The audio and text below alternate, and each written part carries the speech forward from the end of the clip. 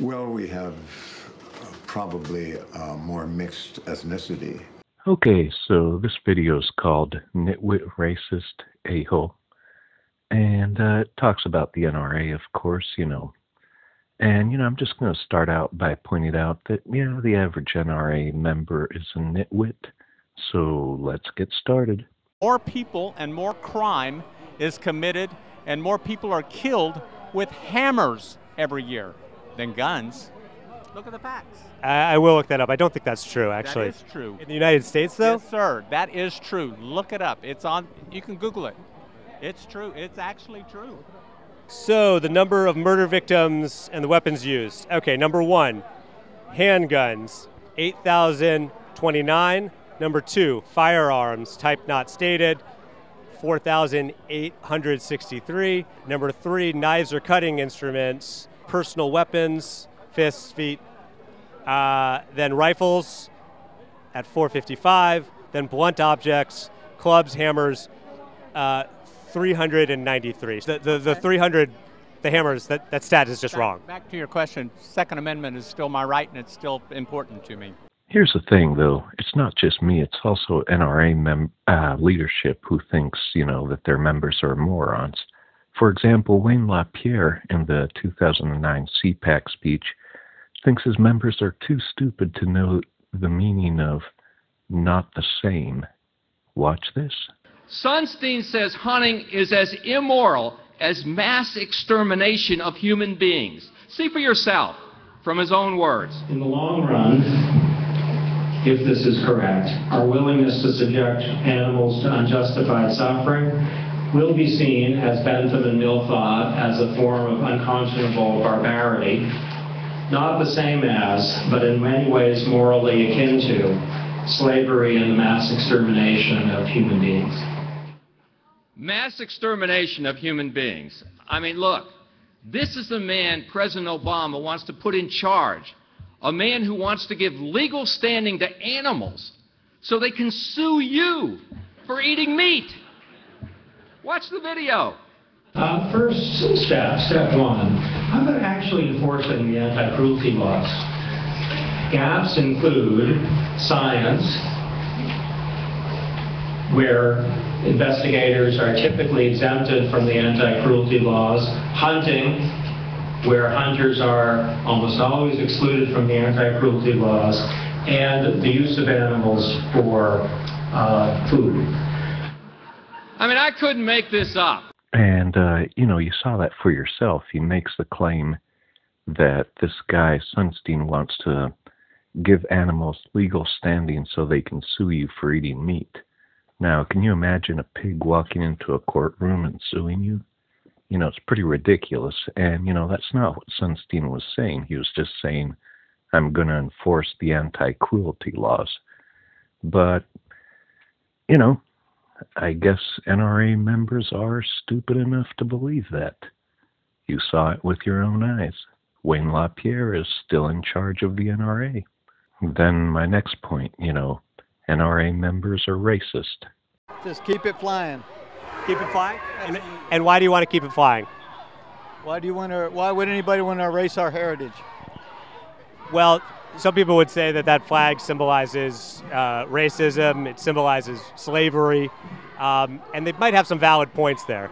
Uh, that's their opinion. You know, they're welcome to their opinion if they want it. Are you, are you pro slavery or against slavery? I have no comment. But thank you for the interview. I'll give you one more chance. Pro, pro, pro or anti slavery? Uh, no comment. I, wha- I'll give you one more opportunity to say if you're pro or anti slavery. No, on a, no comment. All right, well, there you have it. No, no comment on the uh, if you're in favor of slavery or not. Remember, though, the racism thing, it's not just, you know, some fringe member here or there. It's leadership as well. You don't have any opinion, though, as to why that is that we are the unique country, the only country that does this, that kills each other on this level with guns. Well, we have probably a more mixed ethnicity than other countries, some other countries. You think it's an ethnic thing? No, I don't. It's. I wouldn't go so far as to say that we have enough trouble. uh, We had enough problems with civil rights in the beginning, and it's. Uh, As for the a hole part, have you ever tried to have a conversation with an NRA member? You know, if they're not lying to you or saying ridiculous things, you know, they have to engage in some kind of shenanigans because they know they're not going to win the argument on logic. And uh, Alex Jones is a good example of this. So the Bush administration was part of a conspiracy well, to he murder, should never let us tolerate to murder to thousands murder, of Americans. to murder. Um, I can speak in this accent as well. Yeah. The But is that what you government, believe? Hitler firebombed his own Reichstag, Piers, to bring in martial law in Germany, Hmm. April 27th, 1933. Governments have staged terror attacks throughout history or allowed terrorists to attack mm. as a pretext to invade and do you own? enslave How many the guns do you populations.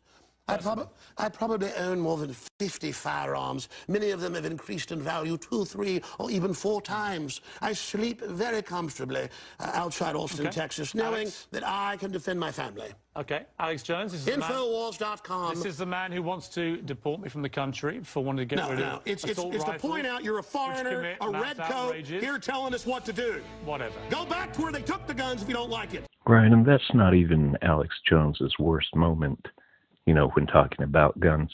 But it's not just kooks like him, it's also, you know, guys who have uh, leadership positions like Ted Nugent, who are also a-holes.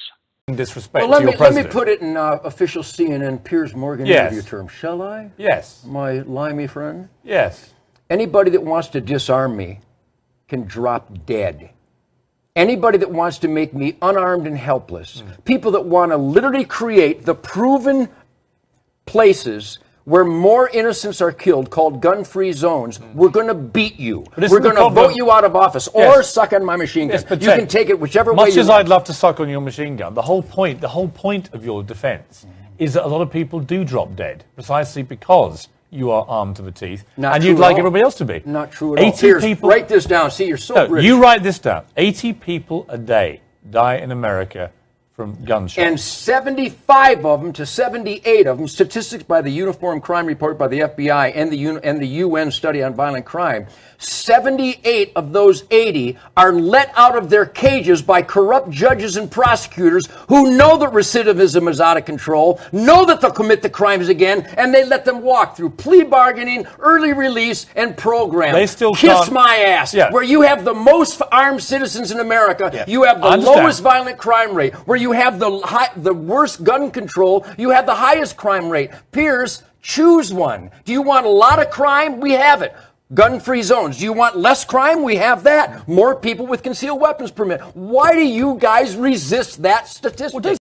So remember, the final takeaway is, you know, you just got to mock these people. You know, they're not going to have a honest discussion with you. You know, the best thing to do is just mock them and humiliate them. You know, the same way we did with uh, the KKK.